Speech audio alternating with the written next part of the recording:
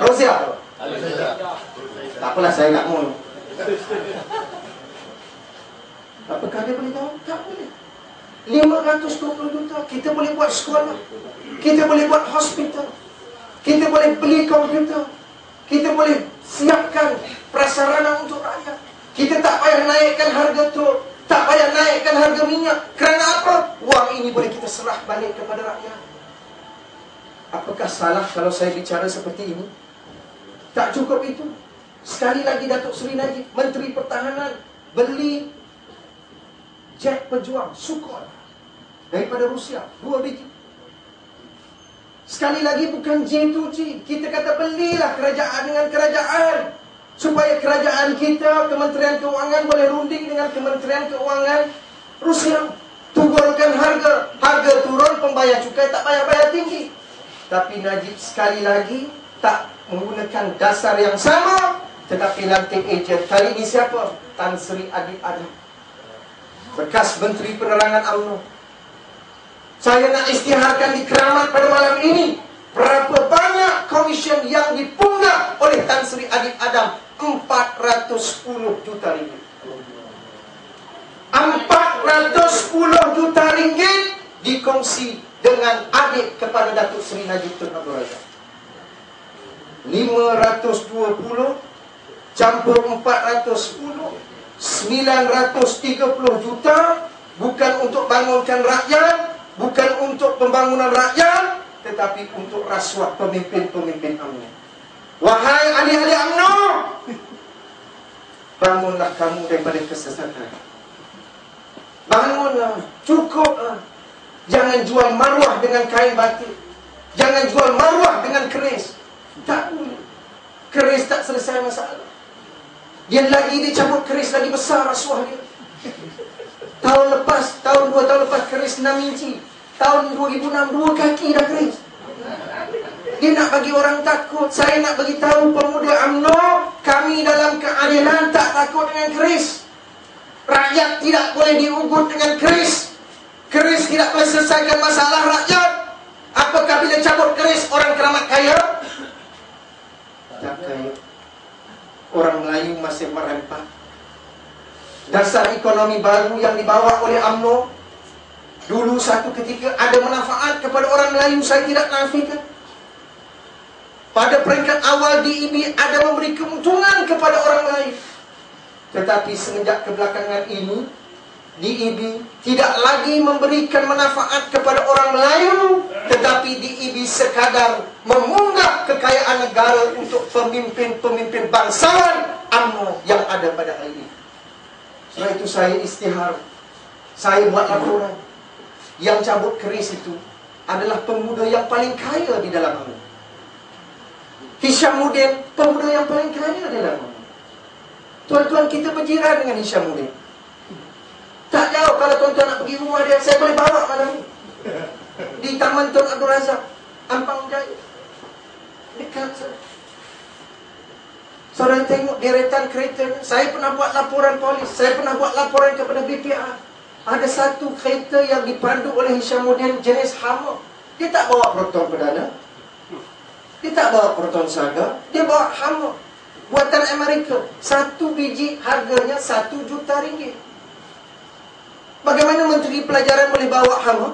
Saya tanya Bila saya dedahkan Dia sorok kereta di sungai besi Betul?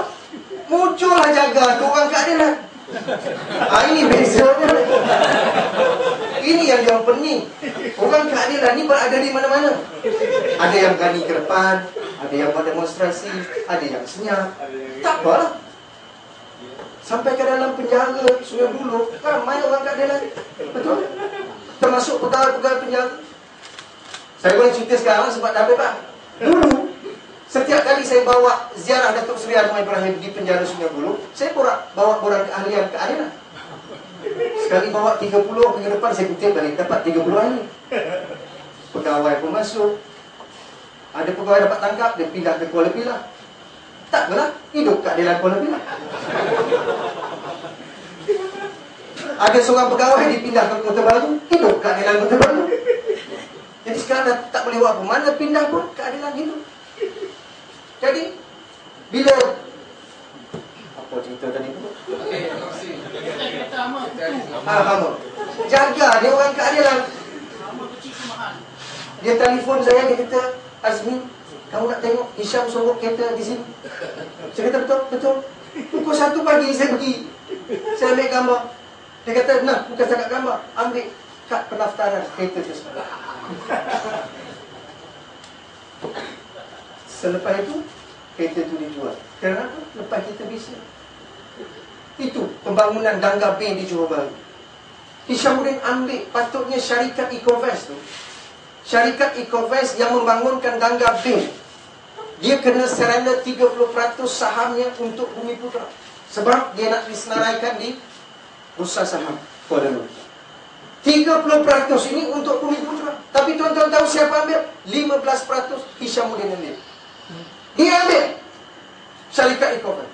Saya cabar dia, bawa saya ke mahkamah. Tak bawa sampai sekarang dah 2 tahun. Dia ambil 15% saham Ecovest. Dia jual tahun yang lalu. Dia dapat 25 juta ringgit tunai. Dia datang keramat agak jalan angga. Dia bagilah pemuda menusung 50 ringgit. Itu pun pemuda umno pulun panjat pasal mereka bodohnya pemuda umno. Bodoh.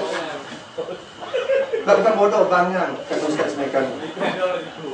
Cuba kamu tanya, wahai ketua kami, wahai Hishamuddin,